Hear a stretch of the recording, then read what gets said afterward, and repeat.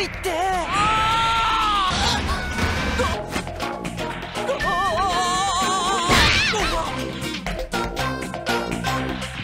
身为世上唯一的男性机甲操控者，一下踏入女子学院，难免尴尬至极。万众瞩目的一下，青梅竹马的目不忍视。他因一位女性的神秘一拳而陷入冰点，二连击的尴尬瞬间将一下从幻想中拉回现实。面前这位霸道总裁般的女子，竟是一下的姐姐，机甲操纵者的第一代千冬。 姐姐的强大实力曾令人闻风丧胆，然而出人意料的是，她居然转行当了老师。一下唯有委屈认怂，面对姐姐严厉的教育方式。夕阳西下，归途中众女相随，一下硬着头皮来到学院分配的住所。然而，她震惊的发现自己与青梅竹马竟然被分到同一房间，吃亏哪有不还之理？一下在尴尬的氛围中，小直揣起木剑向他讨说法。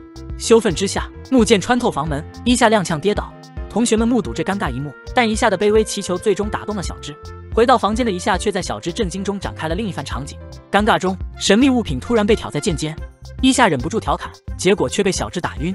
在女子学院里，莫名其妙涌现的男生总会引起不满，比如外国的大小姐塞西利亚。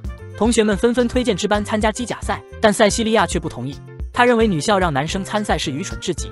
他决定与支班进行决斗，而支班则更愿意用实力来回应。在千冬姐允诺两人对决后，两个冤家迫不及待。训练场上，塞西利亚全副武装准备好。而支班的专用机型才刚刚就位，支班初次触碰 IS 机甲，如梦幻般的感觉让他期待此刻的实战。白氏机甲展开控制面板，支班对其有了初步了解。虽然白氏是近战机甲，而且他还未完全适应，但为了向世人证明自己，支班愿意全力以赴。随着支班白氏的就位，两人 IS 机甲战正式打响。塞西利亚居高临下的孤傲态度，使得支班心生反感。但是面对蓝色之类的突袭，还没适应白氏的支班根本无力反抗。看着伊夏的狼狈模样，塞西利亚愈发嚣张跋扈。而此时缓过神来的支班，可算是从白氏中找到了装备。支班一下依然面对机甲战斗，向着自己的目标努力奋斗。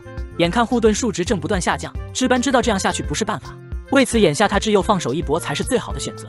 只见白氏正以不可思议的速度向塞西利亚靠近，虽然这会导致护盾值的锐减，但是支班可算是拉近了双方距离。而且就在刚刚战斗过程中，蓝色之类的致命缺点也暴露无遗，那就是当塞西利亚在操控机翼攻击时，本体会陷入无法行动的僵直状态。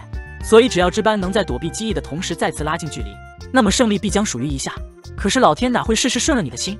值班千算万算，算漏了塞西利亚的近身防卫系统。不过此时千冬姐却一点不担心，因为她知道 IS 机甲会保护值班。随着适应程序框的关闭，白氏终于演化成了值班的专用形态。而此时塞西利亚才醒悟过来，原来刚刚与他踉跄作战的值班用的只是白氏的工厂设定形态。那么面对如今完全形态的白氏，塞西利亚还有获胜把握吗？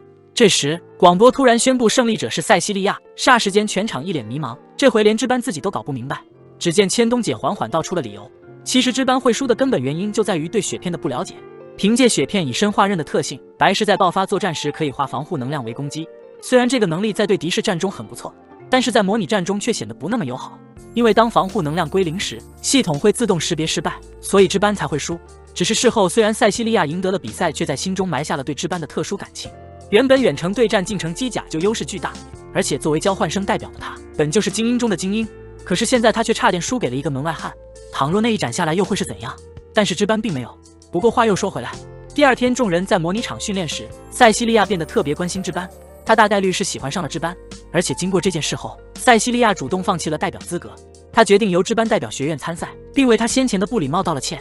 而趁着新闻部的到来，塞西利亚抢着要和支班单独合影。只是结果却是大合照。如果说当青梅竹马一号小直之肘碰上二号黄灵英已经是修罗场的话，那么这时候再来个金发女孩呢？随着与金发妹 IS 机甲对决的结束，支班顺利拿下班级代表资格。眼看如今对抗赛即将开始，他们只是听闻作为对手的二班竟临时更换了参赛代表，这不明摆着玩不起搞偷袭吗？可就在这时，说曹操，曹操就到。其实林此番前来目的极为宣战，但是这貌似很酷的样子却引来支班这样的评价。不过很快林就被制裁了。当千冬姐到来的那一刻，林就如同猫见了老虎一般后怕。他最后只撂下句狠话，遗憾退场。画面一转，已到午饭时间。虽然林刚刚才放完狠话，但是却丝毫不影响值班想和他吃饭的心情。而这份想念，甚至忽略了众女望穿秋水的眼神。看着交谈甚欢的两人，其他女孩终于看不下去了。她们愤怒地询问到两人是否在交往。霎时间，林害羞万分。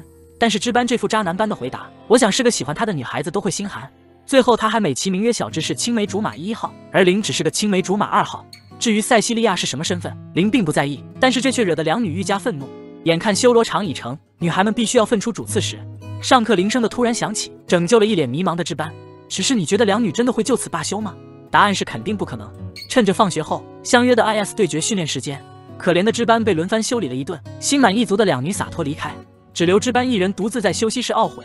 就在这时，林送来的运动饮料和毛巾真是恰到好处的贴心和温柔。为了想和值班独处，林从黄昏等到夜晚。他这样做为的是确认他的心意，可却得到了如此回应。不光如此，当林询问两人为何住一起时，值班还是用青梅竹马一词来搪塞林。霎时间，林感到十分委屈。但是林发自内心告诉自己再试一次，秉承这是青梅竹马就可以的观念，林开心的想要和小智换宿舍。作为后宫正主的小智第一个表示不同意。只见他抄起木剑就要动手，若不是林及时展开 S 机甲，后果真的不敢想象。可是这突然一下也让林很生气。明明他笑脸相迎想换的宿舍，一旁的值班不表态不说，还放任冷脸相对的小智攻击他，而他却在笑。林表示道：“那就代表再见吧。”然后头也没回就走了。这回值班可真是渣男实锤了。这个双马尾实在有点强悍，不光近身搏斗凶狠，还擅长远距离打击。然而，就这个正在全方面蹂躏男主的女生，竟偏偏还是他的青梅竹马，这到底是怎么一回事呢？原来林千辛万苦转学来到学院，为的是奔赴与值班的爱情。可是，不管是两人独处时，还是林故意提起小时候的约定，值班这个家伙就是不为所动，仿佛像是个没有感情的杀手。他对林的爱意屡次视若无睹，这也就导致了刚开始的那一幕，林心中的不满被激化。只见他不断使用龙炮发起进攻，无死角的打击让值班压力巨大。男主眼看如今的局面演变成他单方面逃跑的消耗战，咬牙切齿的值班就是不想放弃。可是明明用的都是血片，为什么姐姐可以斩获联赛冠军，而他却如此悲剧？突然间，值班似乎想到了什么，自千冬姐那学来的瞬间加速，可以让 IS 机甲立刻达到最高速度。虽然他只能使用一次，但是时机恰好的话，可以反复如此。可就在这时，贯穿天穹的攻击瞬间炸裂现场。一时间，所有人都不知道发生了什么。同学们在猜测，后宫们在紧张。突如其来的这一下，让千冬意识到了不妙。随着防护罩的关闭，林表示到突生异变，迅速撤退。可是白氏突然弹出了警告框，值班猛然发现他已被敌锁定。得知情况的林毫不犹豫挡在了值班面前，准备独自拖住敌机。但是战场可是瞬息万变的，不等两人稍有喘息，第二次进攻接踵而至。硝烟中探出了机械手臂，伴随着金属脑袋显现，一个硕大的 IS 机甲赫然出现在眼前。看着这残暴的外形，值班一度怀疑这还是 IS 机甲吗？这里面真有人在驾驶吗？与此同时，指挥室内老师严令两人迅速撤退。但是当值班一想到未能进入安全区的众人是怎么都不愿就此离开，突然间黑铁发起了进攻。看着来势汹汹的敌机，两人自然不甘示弱。拉开距离的同时，两人制定好了策略，由林来做掩护，而值班则伺机进攻。眼看两人分工明确，黑铁似乎已有察觉，他一头扎进了粒子云层，凭借强烈立场干扰断开了总台对二人的掌控。看着指挥屏上正在作战的双方，塞西利亚自告奋勇向千冬申请出击，可是却被以没接触过实战劝阻。现如今通道内的学生进不去，里面救援的高年级同学出不来，众人只能干着急，却没有任何办法。他们只能寄期望于两人能够顺利击败黑铁。可是这般防御无效化攻击，竟又被敌轻松闪了过去。要知道这已经是第四次了，眼看仅剩能量还够最后一次无效化攻击，两人必须得重新商量对策。可此时黑铁突然沉寂了下来。看着硝烟中全副武装的铁疙瘩，值班再次质疑道：“难道那里面真有人吗？”但是他怎么看都像是个无人机啊！林对这个观点表示赞同。此时值班眼神坚毅了起来，既然是无人机的话，他就可以全力发起进攻，他就可以使用血片的零落白夜形态，这一战绝对不能输，因为两人背负着保护大家的使命。在玲珑炮的全力推进下，庞大能量灌输入体，白氏达到了零落白夜的使用条件，霎时间伴随剑芒的延伸，这是怀揣守护信念一击。可是作为无人机，怎么可能怕疼？但是面对即将到来的攻击，值班一点不怕，因为这一切皆在其掌控之中。塞西利亚的出现给予了黑铁致命攻击，值班知道只要是塞西利亚的话，攻击足以毁灭一切。但是真的如此吗？黑铁突如其来的临死反驳，最终将值班送进了医护室。不过好在结果还算完美，几人成功解决了黑铁。可是就当众人为成功保护了学院开心之际，另一边地下实验室内老师的分析结果出来了，这架 IS 机甲确实是无人机，而且使用了从未登记过的 IS 核心。只是为何他会向学院发起进攻呢？想到这里，千冬姐表情不禁凝重了起来。当世上第二个男机甲操作者也来到了女子学院，是种什么样的体验？单看查理迷茫的外表，同学们就瞬间炸开了锅。一个二个争抢着想保护他，可是注定他是属于值班的，毕竟人家可是男生呀。值班一把抓住了害羞的查理，头也不回向教室外跑去。一时间，同学们羡慕极了。由于 IS 机甲的特殊驾驶要求，两人需要避开女生更换训练服，但是这轻易的牵手动作，多多少少会让人觉得很有爱。既然老天安排这两人相遇，那不如索性撮合成一对吧？眼看女生们不断向此汇集，再不跑可就真来不及了。一脸迷茫的查理想不明白为何众人会如此狂热。但是他仔细一想，两人的身份，一想这可是女子学院，他似乎一下子就整明白了。不过话又说回来，时间不等人，现在可不是闲聊之际。看着值班在换衣服，查理下意识地捂起了脸，这可让一下愣住了。他心想这小子在害羞啥？不过值班并没有在意，只是他没想到，他一转头的功夫，查理居然就换好衣服，这速度也太快了吧！值班很想请教其中的秘诀，毕竟男生换训练服是会被挂住。但是查理羞红着脸，并没有回答。画面一转，训练场内因为值班迟到了一小会儿，三女可算是抓住了把柄，逮住值班就是一顿说教。若不是查理及时赶了过来，我想值班的内心一定很崩溃。不过他既然来到了训练场，哪有不模拟战的道理？驾驶着二代 IS 机甲的查理向值班发起了挑战，呼啸而上。查理掏出了远程火力武器，为了避免被放风筝，值班奋力拉近双方距离。但是查理怎会如其所愿？一个极限闪避的同时，在远处架炮开始打起了消耗。眼看白石护盾能量飞速下降，值班只能默默的接受失败结局。但是在放学回家的路上，值班想了很多事情，扪心自问，他一直这么弱下去真的好吗？还记得那年刚斩获全国冠军的千冬姐成功挺进了世界决赛，可是万众瞩目的对决并没有展开，因为就在当天，她被陌生人绑架关押了起来。而为了救她，千冬姐没有犹豫，放弃了决赛。一晃眼，时至黄昏，值班拖着疲惫的身躯回到了宿舍，而此时查理正在洗澡。突然间，值班想起浴室没有沐浴露，于是就主动送了过去。可是接下来发生的一幕，值班直接傻眼了。他怎么都不会想到，查理居然是女孩子。当你在上课的时候，突然被打一下会怎样？我想是个人都傻眼了吧。作为帝国转校生的劳拉，她不光自身能力素质极强，还拥有当今最先进的 IS 机甲。但是他本人唯一的执着点就在于，绝不承认值班是千冬教官的弟弟。而这份怨念之深，促使他敢明目张胆向值班发起炮击。如若不是查理及时出手，后果真的不堪设想。眼看两人剑拔相争，战斗一触即发，训练场回响起了老师的警报声。劳拉无奈解除了机甲形态，但是其心中的恨正在叠加。黄昏下的学院弥漫着紧张的氛围，劳拉正在宣泄心中的不满。在他心中，千冬教官是信仰般的存在。然而如今教官竟屈才于 IS 学院，教学这些没有危机感的学生们，这是劳拉难以忍受的事实。只是，就算是劳拉再怎么不解，千冬也没有义务告诉他为什么。最终，劳拉只能愤怒离去。黎明之月下，劳拉心中的恨达到了顶点。次日，训练场上正当淋雨，塞西利亚准备较量一番时，劳拉横空而立站了出来。看着他蛮横的态度以及出言不逊的语气，两女不约而同发起了进攻。与此同时，当值班得知此事时，刚赶到现场就看见了两女落败的态势。哪怕是零使用龙炮来攻击，但是他在拥有 ASC 的黑色之羽面前，一切能力都将被禁制。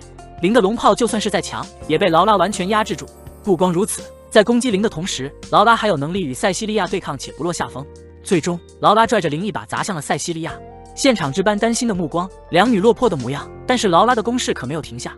然而就在这时，塞西利亚灵光一闪，猛然发动近身防卫炮进行反击。这一下，劳拉绝对吃了个大招。但是这场对局真的结束了吗？答案是没有结束。硝烟散去，毫发无损的劳拉再次显现，从黑色之羽延伸出来的鞭索精准无误的命中了两人。这是场彻彻底底的碾压局。塞西利亚和灵完全没有还手能力。要知道，倘若 IS 机甲此刻解除，那么两女可是会有生命危险的。看着劳拉得意的眼神，值班再也看不下去了。霎时间，空间光芒显现，召唤白氏而出的值班瞬间劈开了防护屏障，怀揣着守护两女的信念，值班向劳拉发起了猛攻。可是当他真正接触到吃力屏障时，才发现他的攻击到底有多无力。就在这时，凌天而来的攻击是查理加入了战场。虽然白氏此刻护盾能量所剩无几，但是值班毅然决然使用瞬间加速，将两人安全送至训练场边缘。而与此同时，查理情况相当不妙。他不光被鞭锁牢牢限制住了身形，他的攻击也被完全挡下。就当心狠手辣的劳拉准备结束一切时，是千冬姐手持四十米长刀，以人类之躯挡下了黑色之羽。只是千冬并没有责罚劳拉，而这场争斗最终也只以两女负伤结束。因为真正的对决，那将是在学年战上，当着所有后宫之面亲吻男主是种什么样的体验？众女目瞪口呆的同时，我想更多的是遗憾，遗憾自己未能先人一步。不过话又说回来。明明上一秒还如此对待男主的劳拉，怎么下一秒就要与男主情定终生了？这中间到底发生了什么？时间来到一天前，IS 机甲战的对决现场。回想起之前劳拉对待女友的恶劣态度，虽然当时他已经出手，但是却被千冬姐拦了下来，而且最后这件事情就这么不了了之了。可是值班心中的那份恨，哪有说消失就消失的道理？这一次值班定要和劳拉做个了断。大战一触即发，瞬间出现的查理来的正是时候，他猝不及防的攻击使得劳拉吃了亏。眼看查理攻势不断，使得劳拉落入下风。身为队友的小芝哪能袖手旁观？但是小芝绝对不会想到，原本准备要与值班一较高下的他，会被劳拉以碍事为由无情甩出训练场。不过这一切其实都在值班意料之中，因为两人一开始的计划就是先解决小芝之肘，随着护盾值的归零，小智机甲的卸下，查理再次加入与劳拉的对决中。与此同时，值班开启了零落白夜形态，准备迎合查理发动最后冲锋。可是落地的瞬间，值班似乎察觉到了什么，如同当时塞西利亚一样，当劳拉发动 A I C 防御的瞬间是无法顾及第三者进攻的。而意识到这一点的两人势如破竹，扶摇直上。可就在这关键时刻，白氏竟掉链子，因为所剩护盾的不足，在零落白夜解除的同时，劳拉却吹响了反击号角。此刻他无尽憋屈正在释放，然而全力攻击之般的后面，那将是无暇防御瞬间加速的查理。至此，劳拉还未能意识到他一打二到底有多吃亏，他反而还被愤怒冲昏了头脑。但是接下来的这一击盾杀将让他永世难忘。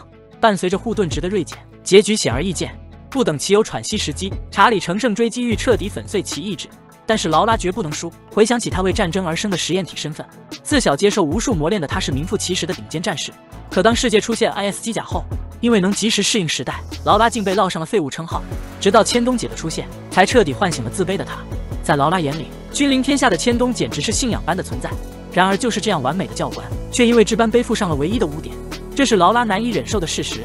霎时间，伴随着强烈电流出现，劳拉的 IS 机甲开始溶解变形。没有人知道到底发生了什么。只见溶解的机甲正在塑形，渐渐的竟然演化成了千冬模样。看着值班颤抖的双手，我想大家都明白值班会输。化身千冬外形的黑色机甲模仿的不只是容貌，他还有自千冬那学来的真刀招数。只是这样一来，却彻底惹怒了值班。那属于千冬姐的居合剑术，本为保护他人而生，然而黑色机甲却借此伤人。想到这里，怀揣念想的值班，以至以往任何时候都愤怒。他想要亲手解决这个冒牌货。凭借从查理那获取的能量，值班再一次召唤出了雪片。屏息战斗的值班，此刻肾上腺素大量分泌，注意力俨然达到了顶点。因为机会只有一次，好在不负所托，值班救下了劳拉，救下了这个可怜的孩子。事后在千冬姐耐心的疏导下，劳拉也放下了心中郁结之事。但是对于值班救下她这件事，劳拉竟决定用一生相伴。正所谓前面有多恨，后面就有多爱。作为后宫之一的劳拉，完美诠释了这一观点。自黑色之雨陷入暴走后，一度迷失自我的劳拉幻想着成为了千冬姐的模样。是值班不顾自身安危，从迷惘的虚幻中救下了他。可是值班不知道的是。对于劳拉来说，被拯救的不只是身躯，更是心灵的救赎。很明显，值班就是这个归属者，但是他并没有做好准备。看着这般无处安放的双手，劳拉直接来了个十字脚，让其清醒清醒。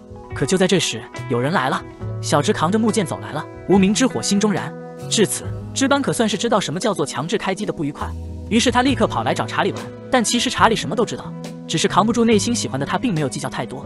此刻开心才是最重要的。只是殊不知，这一幕在其他后宫眼里看来有多么扎心，这哪能忍得住？林当场就想发飙。可就在这时，劳拉来了，于是乎，三人立刻成立了探索小队。只见几人二话没说，直奔泳装店。然而转了一圈，却啥也没发现，这可给劳拉着急坏了。他马上联系了远在帝国的战斗小队，让众人帮他出谋划策。但同样着急的其实还有查理，因为再不快点，可就要被发现了。只见他慌忙的解开了外套，值班眼看情况不妙，直接开启了默念圆周率大法。他试图以此来让自己冷静些，好在不负所望，忍耐是值得的。查理身穿泳衣，娇羞万分的模样，值班心动极了。只是两人不经意的动静引起了千冬姐的注意，拉开帘子，无处躲藏的两人，最后结局显而易见。看着这不成器的弟弟，千冬是直叹气。不过话又说回来，值班心里其实一直藏着个秘密，那就是对比于所有后宫来说，他最喜欢的其实是千冬姐。这谁敢相信？但是这一切都不影响他继续张罗后宫。晚餐时间，塞西利亚行动不便，值班主动提出了照顾他吃饭的请求，这让塞西利亚十分激动。不经意间看到小芝一脸严肃，但值班并没有在意，他仍旧我行我素，将投喂贯彻到底。小芝紧皱眉头，仿佛下一刻就要爆发。而就在这时，千冬训诫完各位后，便摔门离去，值班相对应的投喂行动被迫终止。塞西利亚很是不满，而作为补偿，值班相邀其晚点见。看塞西利亚羞红脸的瞬间，我就知道他想多了。回到宿舍。塞西利亚马不停蹄换上了决胜装备，虽然被舍友看见，怪不好意思，但他觉得这一切都值得。只是当他满怀欣喜的去找值班时，才发现原来所有后宫竟然都来了。不过话说，这里在干嘛呢？众人不约而同紧贴门板，想一探究竟。只是小小木门和堪重负很快便败下阵来。不过这下子总算看清两人在干嘛了。虽然千冬姐兴致被扰了，但其实她知道众女前来所为何事，于是她便支开了值班，准备和几人谈心。果不出其然，当千冬提及值班时，众女很是在意。但是千冬却是这样的态度，在他们看来，千冬姐才是众女最大的情敌呢。天空一声巨响，萝卜闪亮登场，不对，是小枝之树闪亮登场。别看眼前这个兔妹非常萌，其实她可是科学界的一代奇才。值班的白氏就是出于其手，更重要的是树还是肘的姐姐。而当然，此次她前来学院，树的目的只有一个，那就是将小芝心心念念的 IS 机甲送来。天空又一次巨响，不过这次出现的可不在萝卜，而是货真价实的 IS 机甲，并且还是众人难以置信的第四代机甲。要知道，如今各国 IS 研发还处于三阶段试验期，可红春竟然已是第四代机甲，这谁敢相信？就连小芝自己都不敢相信。只是在接下来的测验，却不得不让众人折服。其破天而去的瞬间爆发攻击，加上对待火炮完美的防御能力，这也远远超出了三代机的性能。小芝对此很是满意。可就在这时，突发情况出现了。据上级指派的 A 级命令得知，S 国第三代无人机福音正向此处袭来。如今学院方已用训练机将四周封锁，但是能将其攻克的关键点，还得是男主一行人的专用机。与此同时，从训练机反馈的数据来看，福音的机动性和远程打击能力极强。而且因为其处于超音速飞行状态，根本无从判断近身作战能力。这也就意味着众人只有一次机会将其击败，所以必须是机动性最强的专用机出动。毫无疑问，只能是这般了。可是这种东西在实战中谁也说不准。在红春的帮助下，两人冲天而起，以不亚于瞬间加速的快向目标靠近。当小芝通过卫星得知无人机就在眼前的同时，值班开启了零落白夜形态。只是似乎福音早有所料，在不断躲闪的同时，反而利用炮击分散了能力。眼看当前计划失败，两人只能尝试正面交锋解决福音。就在这时，海面上竟然出现了船只，无奈错失良机的小芝很是气愤。明明是偷渡者，又何必去管他？但是值班却不容许这种情况发生。然而替其挡下攻击的代价，那将使得白氏失去维持战斗的能力。这回小芝是真生气了。可是不管他真的好吗？值班不允许小智变得如此冷酷无情，他不能因为如今获得了强大力量而去忽视弱者，这根本不像原来的小智。然而，正当小智放下武器陷入深思时，福音却突然发动了攻击。你知道当反派一旦强起来有多离谱吗？眼看 S 国无人机正向我方袭来，千冬当机立断，下定决议由机动性最强的红春配合值班。值班利用零落白夜的瞬间爆发特性来解决对手。可是当想法一旦实施起来，才发现什么都不如所愿。对方实在太强了，而值班为了保护小智身负重伤，陷入了无尽沉睡。此刻千冬很愤怒，同伴们很沮丧，劳拉很怨恨。但是这一切仿佛都在诉说着，拥有力量的小智只是个倾诉暴力狂。黄昏的海滩充满了回忆的气息。还记得很小的时候，因为小智喜欢扎头发，所以总被同学戏称为男人婆，并且还借此来百般刁难他。但是每当到这个时候，值班总会挺身而出保护他。然而回到现实中，小智才意识到，原来不只是从前，现在也是一样。也许是灵的巴掌给予了自己动力，如今值班已经倒下，而他作为第四代驾驶员，哪能就此消沉下去？看着前来支援的大家，小智的心中燃起了希望。既然一次不行，他那就再来一次。劳拉利用自己的黑色之羽迅速定位了福音的位置。虽然知道这次行动是违抗命令的，但是小智有不得不战的理由，那就是保护值班。夜晚的星空透露着危险气息，远方在光圈下待机的正是福音。只见确认方位后的劳拉没有丝毫犹豫，打响了这场战斗的第一炮。而遭受到攻击的福音也苏醒过来，他在其解开防护罩的瞬间向劳拉发动了猛攻，但奈何这可是多对一的局啊，福音怎么可能捞到好处？只是众人没想到的是，表面上福音在疯狂逃窜，事实上背地里他已经制定好了反击策略。也许此刻他既打不过塞西利亚，也扛不住零的龙炮，但这一切尽在其掌控之中，因为他在等一个契机，一个看似遭受重创、坠入大海宣告报废的契机。俗话说破而后立，不破不立。只有当 IS 核心遭受到致命威胁时，福音才能凭此顺利开启第二形态。而一旦解锁更高层级，众人将再也没有出手的机会。先是小芝，后是塞西利亚，明摆的实力差距，结局根本不可能逆转。霎时间，全场再无可战之力。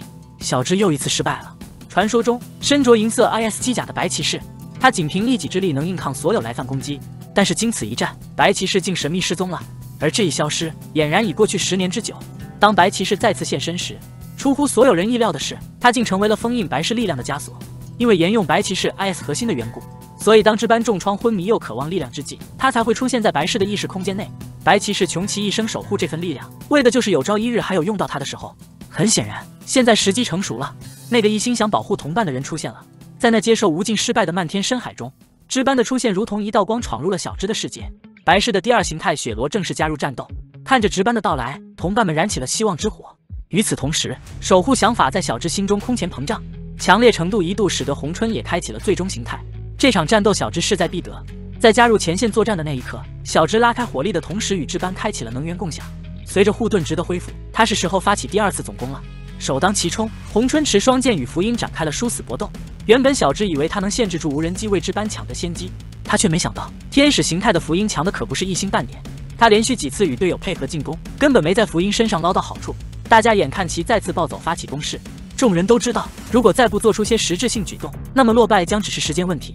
可就在这时，趁福音陷入攻击僵持状态，值班直接将白氏的输出功率开到了最大。霎时间，庞大能量带着福音呼啸的大。可就算是如此，福音仍没放弃。他颤抖的右手想夺下值班的咽喉，但是同样没放弃的还有值班。卯足全身的力量，值班硬生生破开了福音的 IS 核心。最终，随着无人机翅膀光芒的消失，这场作战是 IS 学院方的胜利。不过话又说回来，针对这次所有人违抗命令的举措，值班老师可没给大家好脸子看。他不光要所有人写检讨，还有用惩罚式训练来折磨大家。但是这一切都不会影响到值班继续开后宫。比如，当所有人在吃庆功餐时，值班就偷偷的和小智约会起来了。然而，就当两人要情定终生时，该来的人都来了。看来男主这次免不了几顿毒打。以上就是第一季的内容了。喜欢的话记得点赞订阅，第二季马上更新。